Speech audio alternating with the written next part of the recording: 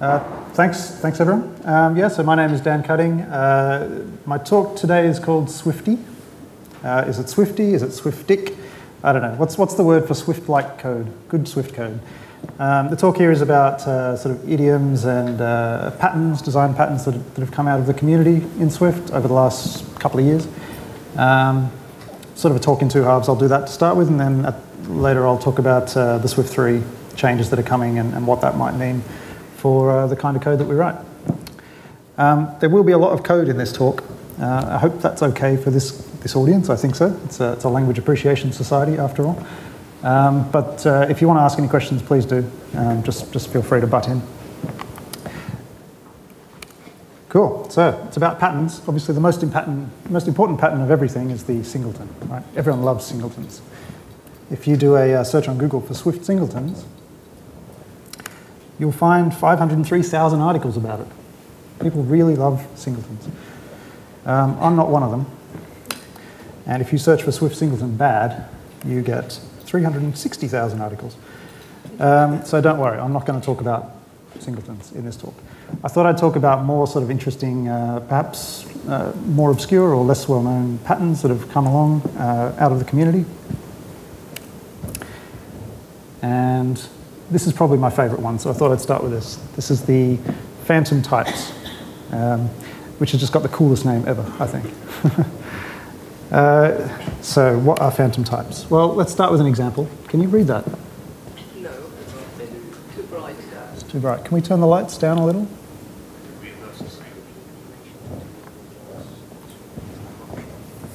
It's going to be a lot of this, so we have to uh, be able to read it.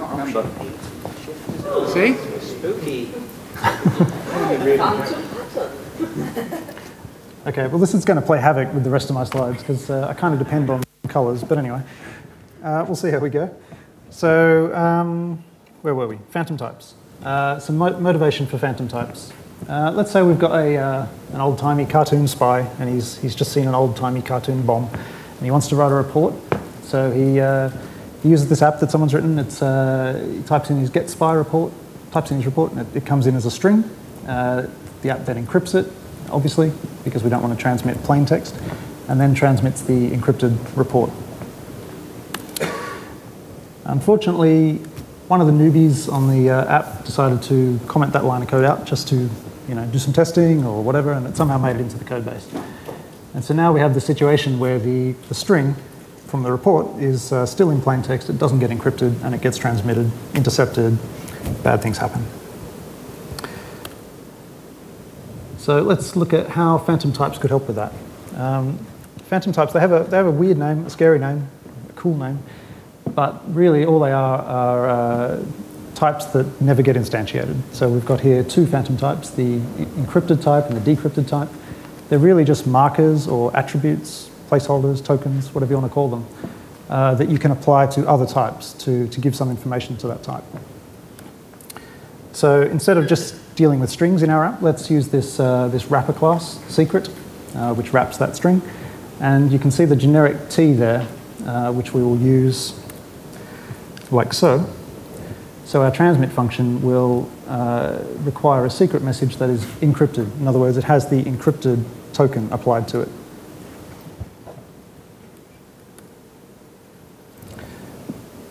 And so now, if we tried to do something like this, the, the get report function, instead of returning a string, now returns a decrypted secret, obviously, because it's coming straight in from the, the UI text view or whatever it is. Um, if you try to now transmit that, you will get an error. And instead of my lovely red uh, stop sign, it's now blue or grey or something. Uh, instead, of, instead of being able to transmit it, you'll get this, uh, this build time error, uh, which will say that you can't use a decrypted message here when, you're, when you should be using an encrypted message.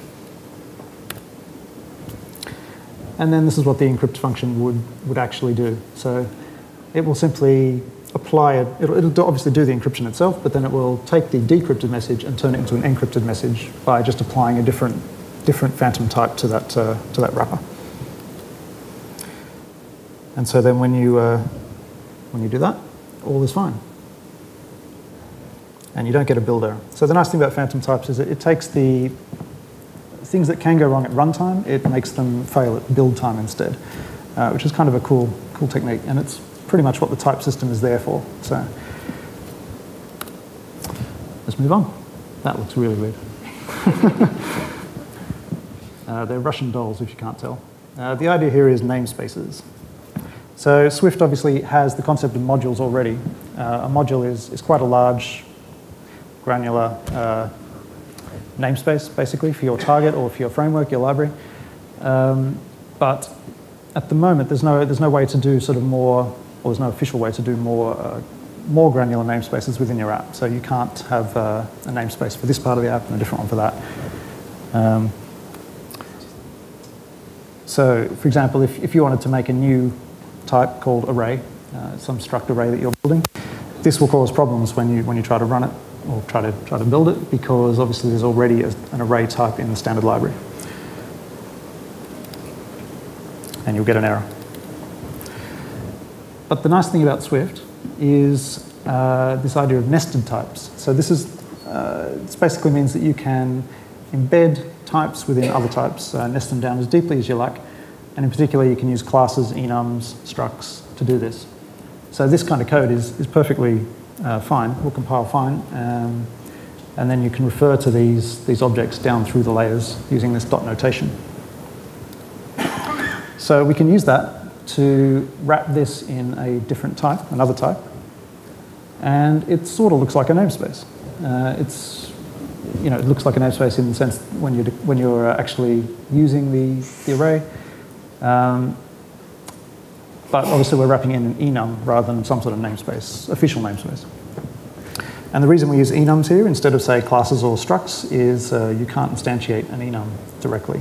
So this is kind of uh, signaling to, to the reader that you're not supposed to use the, the my project as an actual type that you instantiate. Um, obviously you're still, you're still using an enum, which is not exactly how it's intended to be used, but this can work. Uh, and you could also use it for sort of organizing code as well. Um, so in your app, you might have uh, a components namespace, and then within that, you've got, say, a list section for the list part of your app, a search, search part of the app, detail part of the app. Uh, and you can, in fact, declare all these namespaces in advance, uh, like this, and then use extensions to, to actually put things in those namespaces, uh, which is good because it means you can spread this code out all over the place. And then you would refer to it like this. There is, there is one drawback with this approach. You can't put protocols inside these things. So you couldn't declare a protocol inside one of the namespaces um, for various type reasons. So it's not perfect. That's very hard to see what that is. um, it's ink, suspension of red and blue ink mixed in water. Uh, so this part, this, this pattern is mix-ins. Um, and you can think of mix-ins as building blocks for, uh, for your app or for your classes that add behavior to, to other types. So to give you a, a more concrete idea of what that means, let's say we've got, we're, we're building a game with some players and enemies and uh, we want them to be able to inherit certain behaviors somehow. So we've got uh, this, this idea that a player can move and an enemy can move, uh, player has health, and so on. And there could be a lot of these different structs that you've created, and there could be a lot of these different behaviors that you want to apply to all these different types. Um, so obviously you can do something like this with inheritance. You could have a, a, base class for like a moving object, and then you could subclass that to a player and an enemy and, and so on. Um, but because we have single inheritance in Swift, obviously you have to have a very rigid hierarchical tree for that, and you can't sort of cross, cross over and, and use the uh, behaviors however you want. You're sort of fixed in this hierarchy. So wouldn't it be nice if you could do something like this?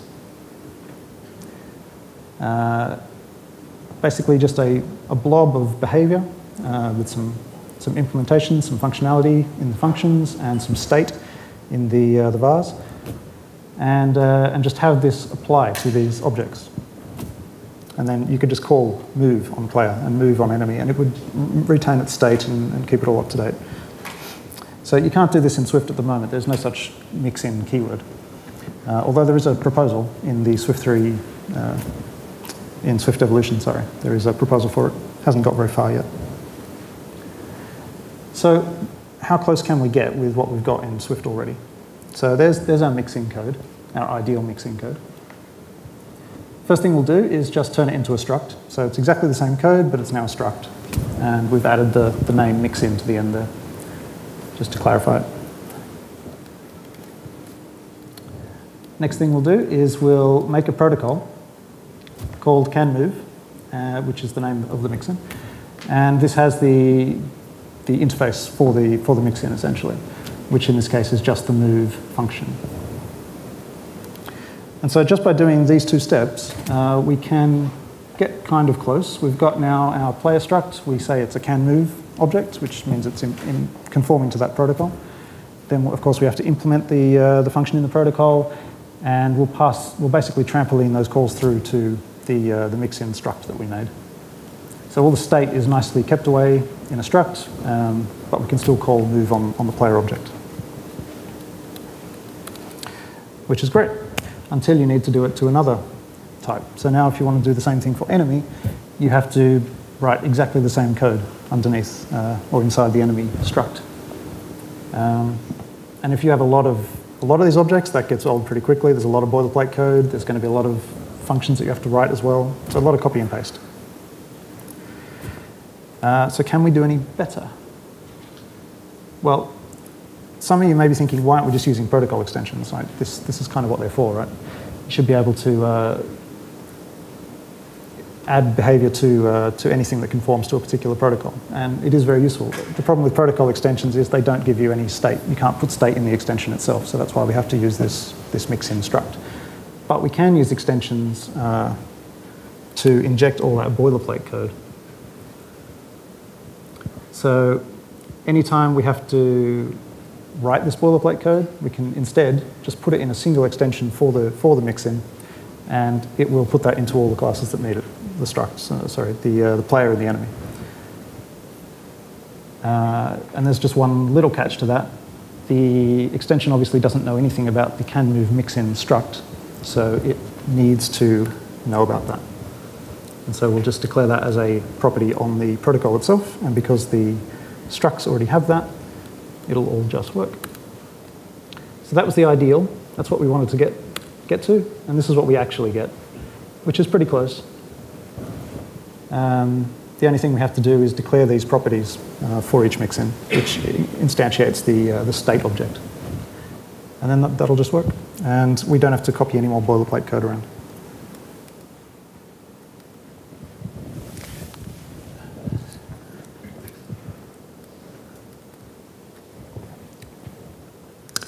Um, so you're probably thinking at this point, well, there's a lot of hacks here. uh, phantom types, they're, they're kind of cool. Um, maybe they're, they're arguably good practice because we're, uh, you know, we're using the type system in a way that perhaps it is intended for. Namespaces, probably not so much. We're kind of uh, overriding enums for our, for our own purposes there, which is a bit confusing. The mixins thing, um, it's kind of neat but might be a bit confusing if you actually came across that in code, I think. Um, there's a bunch of other patterns like type erasure and so on, and they just get weirder and weirder. So you're probably just wondering, is this really good practice? Uh, I'd say it is, it is good, right? We need this stuff. We need to uh, explore what we can do with a language. We need to see, uh, push the boundaries and, and, see what we can get out of it. And it is a young language, so we're still trying to figure out what is actually Swifty code. Um, so all this stuff has come from the community. Of course, we also have the uh, Apple itself and the open source project, um, which are pushing Swift in other directions, or in, in, much the same direction, but they have their own ideas. Um, you can actually read that, that's good. So these are some of the Swift evolution proposals that have been um, proposed. Uh, about two-thirds of the ones that have been proposed for Swift 3 have already been implemented, uh, and there's, there's more being created every day. Um, but the, the primary goal now for Swift 3 is consistency, so making the APIs consistent, uh, the way you use it should now start to feel more Swifty, there should be more of an identity. Uh, and there are API design guidelines that uh, sort of lay all this stuff out. Um, so one of the, the main things at the moment is uh, well, one of the main features of Swift, I should say, is this uh, idea of mutability when you need it. Um, so by default, you tend to want to try and use immutable objects, value type objects, uh, which is the let concept. Uh, and then when you do need mutability, you can use var and, and so on. The problem is with uh, Foundation, which is obviously a massive framework that we all rely on all the time, uh, it, it's a very Cocoa oriented, well, it is Cocoa, basically. Uh, the, the way you use it is, uh, it's designed in a way that is not exactly the way that Swift is meant to be used, or not intended to be used. So you end up with code like this in your Swift code, which doesn't feel quite right. You've got uh, the NS URL, put that in a URL object, and if you want to append something to it, you, you do it with this URL by appending path component, putting it back into the same object again. Uh, and this, this just doesn't really feel like Swift, right? So in Swift 3, and in fact in the, the snapshots now, I think it's already implemented, you can do this instead. Uh, first thing to note is the NS has gone from URL, it's just URL now, and that is applied across Foundation. Um, and now a var URL is actually a, a var type. You can do things to it uh, rather than uh, ask it to do something, give you an object, and put it back into the same object. So now you've got these new methods, uh, functions like append path component, uh, which will modify the actual object. And if you use let instead of var, then that will also feel more Swifty because now when you try to do this, you will get an error. So consistency with, uh, within the language itself, but also consistency with foundation frameworks is, is very important for Swift 3. Uh, so I've got just a, a, grab bag of a few other points from um, the proposals. We've got this one, scoped access. Uh, this looks like perfectly uh, innocent code, I think. We've got a public function there which increments a private value. If I were to write this, uh, what do you think would happen? Would the, the code run fine and the value would be updated? Or would the, the code crash? Or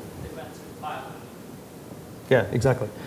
So in many other languages, you would expect this to just not even build, right? Because the, the value uh, property is private and you're outside the scope, it shouldn't, it shouldn't even compile. Uh, a lot of people would argue. In Swift, this would, this would compile and run just fine if this code was inside the same file as the class. So private doesn't actually mean private to the scope that it's in, it means private to the file that it's in, which is surprising, I think. And so this is, uh, this is changing. Um, in future, it will be as you would expect, and if you still want the old behavior, there will be a new access type called file private. Uh, this is not implemented yet. This one has actually been around for a very long time. I think it's a very early proposal, and it still hasn't been implemented. So. Not sure if it's, it's difficult or no one wants to do it or what. But. Uh, no escape. Uh, by default, at the moment, blocks, uh, sorry, closures are uh, escaping, which means if you pass a block, a closure, to a, uh, a function, there is the possibility that it can escape that uh, function and possibly be saved somewhere or passed onto some asynchronous thread or, or something like that. And and that's useful, obviously, because you need it for things like callbacks. But it's, it's kind of against the, uh, the way that Swift is turning out. The, the idioms for Swift are now to be more sort of functional. So you do something, you come back. Try not to have too many side effects. So there is already a at no escape uh, attribute that you can apply. And what that will do is uh, say to the compiler that the, uh, the closure here will be used and uh, be, it'll be used and not copied anywhere else or not used anywhere else by the time that the function that it's in returns. So it's perfect for this kind of code where you just want to do something with the, with the closure and then exit. Um, and it's, like I say, it's good for the, the kind of code that we should be writing with Swift. So by default, that will, that will now be the, uh, the default option. No escape will be the default, and that keyword will disappear. And if you want to be able to escape a function, a escape a closure, then you'll need to do that explicitly. Just a couple more now. This is a, a very simple one. Uh, let's say we've got two protocols, drama and comedy, and then we have a uh, breakfast club type, which is a drama comedy, perhaps the best drama comedy. At the moment, you would declare it like this. You use this protocol angle brackets to say this type is of a, it's a protocol which conforms to drama and comedy. And the new syntax will get rid of the protocol and the angle brackets and just use this ampersand notation instead. Um, which does make more sense. Like the, the one above, the, the, the, one that's there at the moment, it's a bit unclear if that means it could be drama and comedy or drama or comedy. Um, this obviously makes it clearer. It gets rid of some angle brackets as well. And the angle brackets are particularly important in generics. If you do it the old way, when you're doing a, a function declaration like this, you get just angle bracket, angle bracket, angle bracket, um, angle bracket blindness, it's called.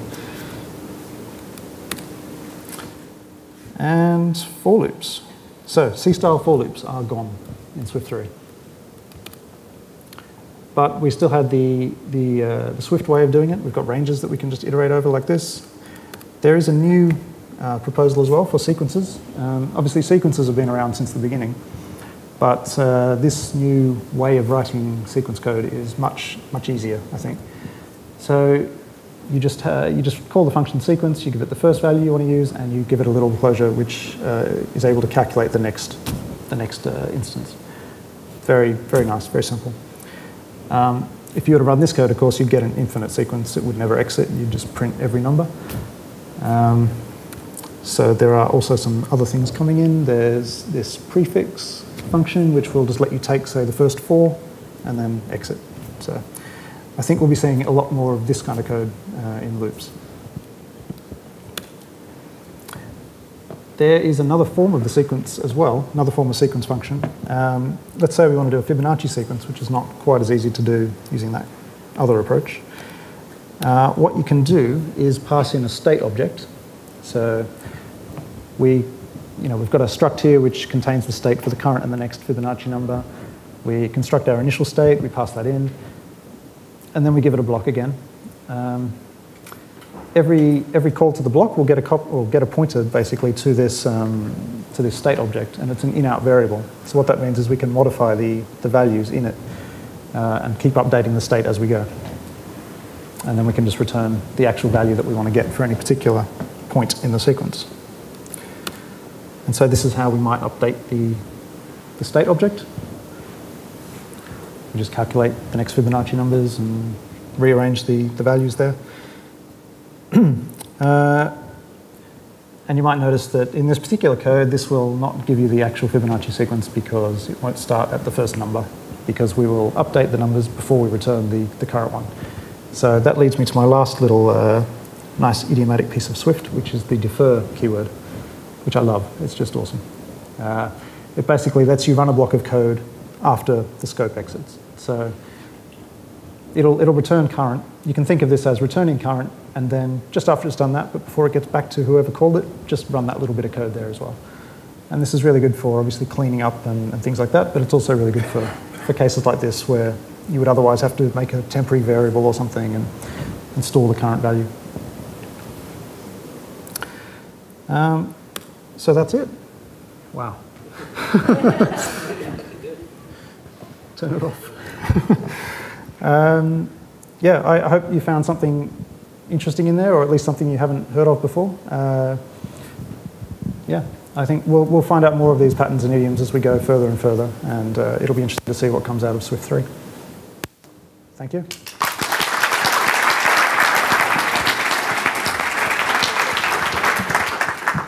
Does anyone have any questions?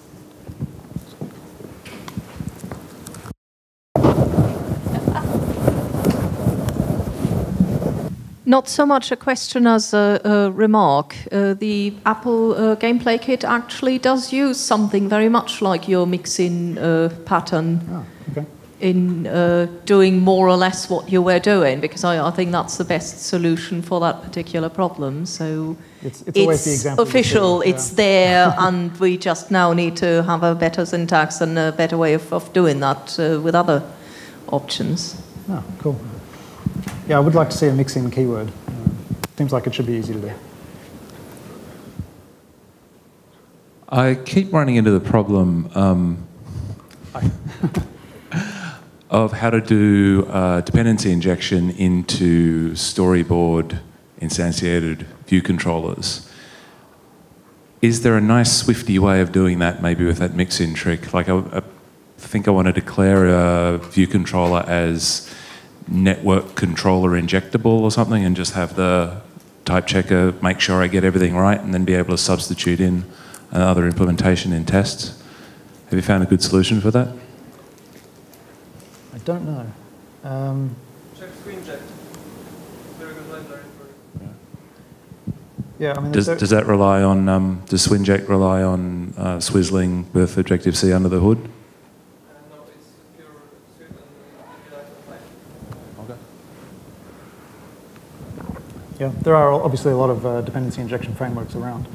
Um, I, I don't know if you could use the mix-in trick for that. Uh, it'd be interesting to have a look there. Cool. Uh, any more questions? Awesome. Why uh, would you use um, phantom types instead of protocols? Like, for example, having an encryptable protocol perhaps for the thing that you were doing, and then when you're trying to send it, you'd be passing in an encryptable and you'd encrypt it always before it's sent. That's very specific to that case. So, what are there cases that you definitely use phantom types instead of protocols? Um, I don't, I don't know if there's any that you would definitely use one or the other. I think it's sort of a case-by-case thing. You would, you would want to have a look, but um, sounds like we have an example. The good example I've seen is currencies. So each currency can be a phantom type, so you can make sure the currencies are added right, but you don't want, you all want them conforming to the same thing. You don't, it just allows you to have an extra thing on the number and tell it only to add things where the currencies are the same and that sort of thing. Yeah, Natasha the robot did a great post about using uh, phantom types for currency conversion. Um, it looks it looks quite quite insane when you read it the first time, but uh, it's it's pretty amazing what it's actually doing. I, I'm actually using phantom types in something I'm working on at the minute. So there's like a, um, a contact type, and there's different types of contact. So the contact, you know, it's just got like the name and address and stuff like that, but they're different kind of people. So you can have a contact that is a, a baker or a candlestick maker or whatever. It just means that then you cannot assign the wrong kind of person to that variable. Yeah, I guess in cases where you have exactly the same information in each, uh, you know, each different case. So this, the contact details would be the same whether you're a baker or a candlestick maker, but uh, you don't want to have separate classes for those. Um, so yeah, it, it's basically just an attribute that you can just tack on to any other type.